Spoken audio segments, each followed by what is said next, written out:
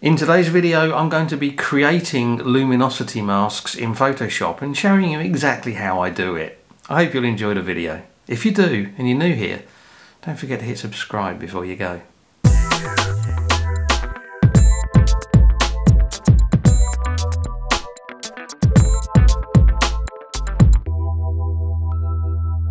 Hi everyone, thanks for joining me. This video is one that I've actually been asked about doing for quite a while and somehow I've just never got around to it. And it's all about creating luminosity masks in Photoshop. So luminosity masks can be really useful as a way to apply certain effects to only certain parts of an image. They can also be a good way to blend images together. So for example, if you've got an exposure taken exposed for the highlights and one exposed for the shadows and maybe one in the middle. Luminosity masks, luminosity masks can be a great way to blend those images together uh, without doing a lot of fiddly messing around with brushes. And uh, I thought I'd show you first of all how I go about creating luminosity masks, a little tiny bit on using them, uh, just as an example to show you basically how the masks that I'm going to create work. And then uh, a couple of ways that you can avoid a lot of work every time you want to use luminosity masks. So let's uh, get onto the computer and have a look and uh, talk about luminosity masks. Okay, so we're in Photoshop and I've got an image open here which I'm going to use as a way to create my luminosity masks. To do this, I'm going to start off by going into my channels. And you can see there I've got RGB, I've got red, green and blue. I'm going to start off by doing a command click on the RGB channel, which is going to make a selection. And that is actually my first luminosity mask. So I'm going to click down on this little button down the bottom here uh, to save the selection as a channel and it'll come up as alpha 1 and that is my first luminosity mask created and if I just take that off you can see what that's doing is favouring the highlights a bit and darkening the shadows a bit in this kind of black and white view and if I put the selection back on you can see from the marching ants the areas that it's selecting. What I'm now going to do is refine that so that I'm focusing more on the highlights. So I'm going to do shift option uh, no yeah shift option command. Click that would be shift alt control on a PC and I'm going to click on the alpha 1 channel again. And that's refining my selection quite a bit. So I'm going to go down and add this as a channel and that's my alpha 2 channel. If I click on that you can see that's refining in on the highlights even more. I'm going to repeat that again, shift option command, that would be shift alt control on a PC and I'm going to click on there again and that's refining it in even further and that's my third channel. And I'm going to keep doing this until I've got six channels. So let's do that.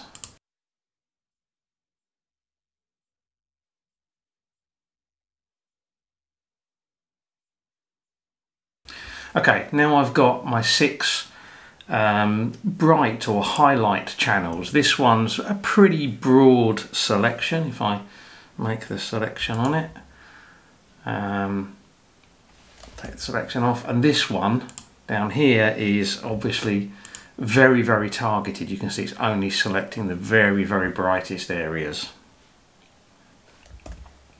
So that's my highlight channels done. What I now need to do is my uh, dark area or shadows or lowlights, whatever you want to call them. So we're going to go Command D and make sure that all my selections are cleared. Back up onto the RGB channel and I'm going to once again do a command click which will make a selection but now I'm going to invert that selection so I'm going to go select inverse and this is going to be my first uh, low lights, dark areas, shadows, uh, luminosity mask. So I'm going to save that and that will give me alpha 7. And then it's the same process to refine this. So shift option command or shift alt control.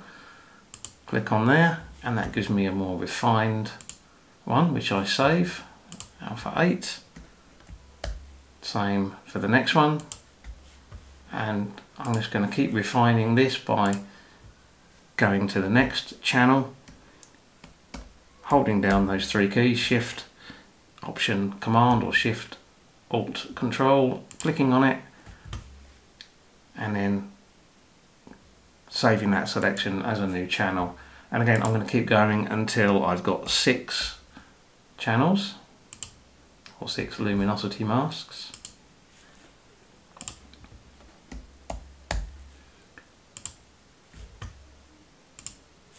There we go. So what I've now got is a set of low lights or shadows or, or dark area masks. So you can see this one here is a pretty broad mask. If I hold down the command or control key and click on it, you can see where the marching ants are.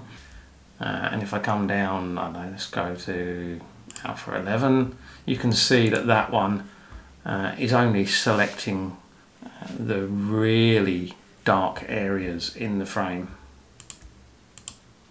So now I need to create my mid-tone masks. So I'm going to start off on alpha 1. I'm going to do command A which selects everything, so select all basically. And then I'm going to do uh, option command click, that would be alt control click on a PC to make a selection and then I'm going to come down to alpha 7 so that's my the first one is my uh, highlights mask. Alpha 7 is my shadows or low lights mask. And I'm going to do the same on that. So I'm basically subtracting both of those from the selection of all. If I get an error message come up I can ignore it. And then I'm going to create uh, we'll save that selection now as a channel. So I've now got channel 13 which is favouring the midtones.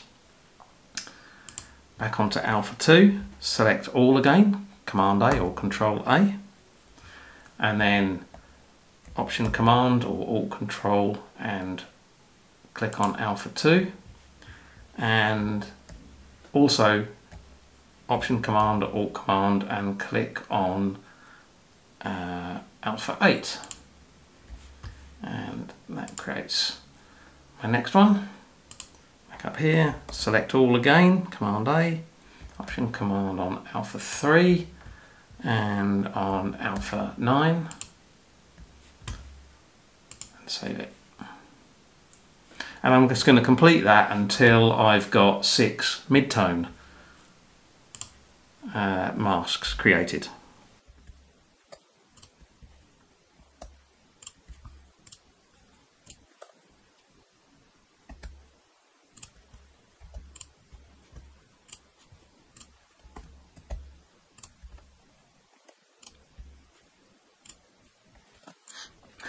Okay, and now I can see my mid-tones masks, which again, as I go through, produces more and more. So, you know, alpha 18 is really uh, allowing any adjustments to be almost entirely across the scene. However, you know, alpha 13 is a bit more targeted on the midtones. Now what you can now do if you want to, you don't have to, is you can rename these channels to make them easier to use. Um, some people use bright, dark and mid. Uh, some people use highlights, shadows and midtones. Um, I keep it fairly simple and just do like low one, uh, sorry, no I don't, I do high one on the highlights, um, high two, and so on. And then on the uh, the shadow ones, I tend to do low one, O2 and then on the midtones I test tend to do mid 1 mid 2 etc I'm not going to go through all of them now um, because otherwise the video is going to get long what we need to do now is have a quick look at using these things so I'm going to come back up to my RGB make sure that I've cleared all my selections with Command D or Control D. Come back onto this image and uh, for the purposes of demonstration I'm going to do something that makes it very obvious what's happening. So I'm going to put another layer on top working on two screens and it disappeared off the screen uh, and I'm going to fill that layer with a solid colour not black we'll go for uh, let's go for red, shall we? So I've put a red layer over the top there. Now let's say that I wanted to put red on this picture, with no idea why I would want to, but uh, I only want it to be in the highlight areas. So what I can do is I can come down and look at my luminosity masks and find the one that I think gives me the best uh, masking option. So remember, white reveals, black conceals. So if I use this mask, anything that's white is going to show the red through. Anything that's black, the red is going to be hidden. Uh, and greys are going to, you know, varying shades of greys will let through varying amounts of that layer. So if I do a command click on here, that will make a selection.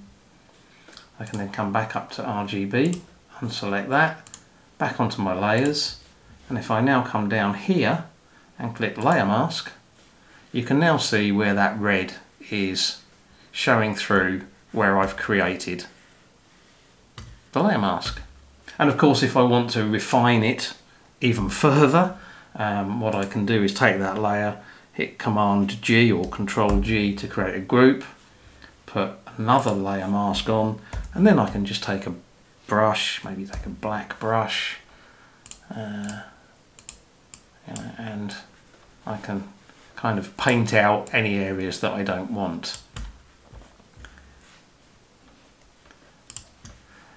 So that's the basic process for creating those masks. Now of course it's a bit of a pain to do that on any image that you want to uh, create luminosity masks on. So there's a couple of ways to get around that. If you want to do it yourself, then the easiest way to do it is to go into your actions, create a new action, and simply go through the process that I've just been through, including any naming that you want to do, and record it.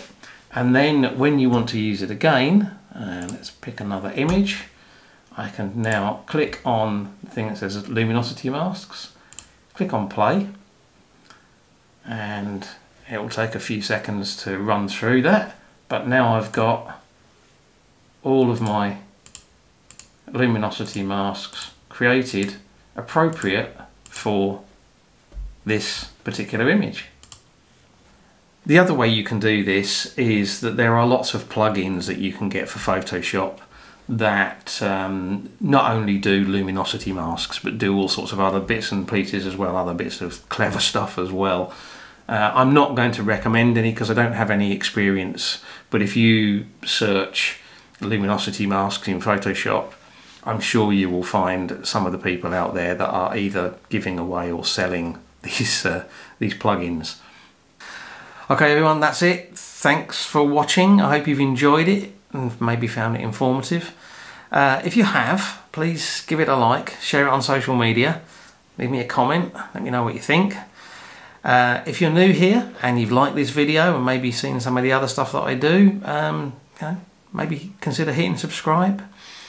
And uh, as always, I really appreciate you taking the time to watch, so thank you very much.